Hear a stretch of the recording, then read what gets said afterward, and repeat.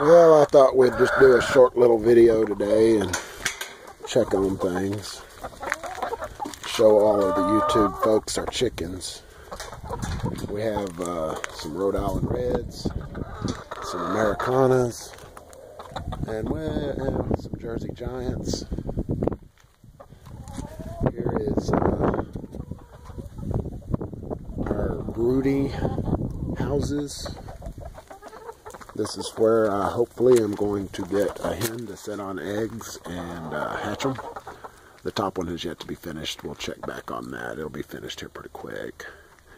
And uh, here's one of our roosters that just came from nowhere. He just moved in, totally on volunteer. We got another one around here just like him. That's Mario. All right, folks, this hen house is totally 100% reclaimed wood.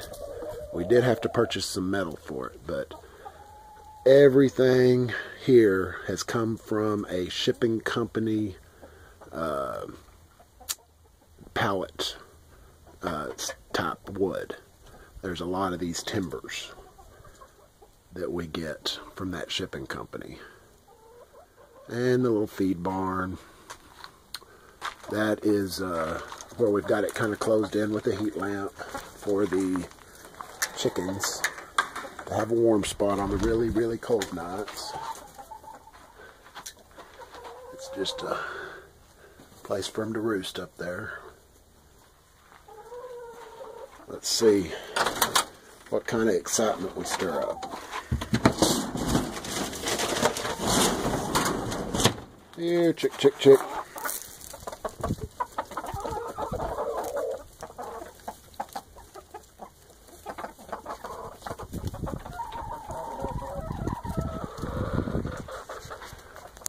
Here at BatBoi and Rooster's Farm, we try to recycle and reclaim and do everything as uh, earth friendly as possible.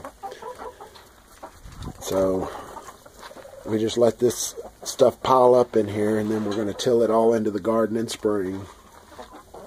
That's the only fertilizer our garden gets.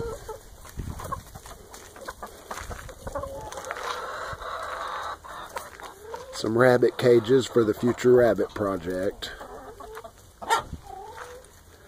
But that'll do it for today, guys. We'll uh, check back here before long and see about getting uh, the video of the hen or the brooder's nest complete.